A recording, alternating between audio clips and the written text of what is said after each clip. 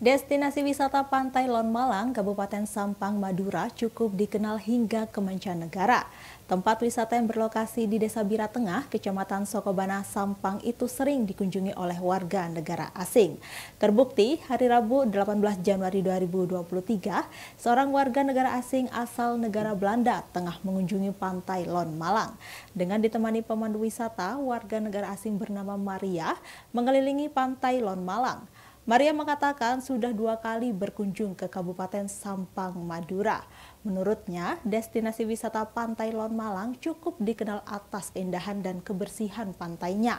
Sementara manajer wisata Pantai Lon Malang, Mas Tuki menyampaikan kunjungan wisatawan dari luar negeri tidak datang kali ini saja.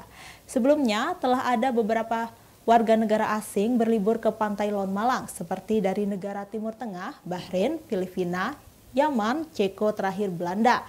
Atas dikenalnya destinasi wisata pantai yang bersih, dirinya mengaku bersyukur karena hal ini tidak lepas dari konsistensi para pengelola untuk menjaga kenyamanan dan para pengunjung.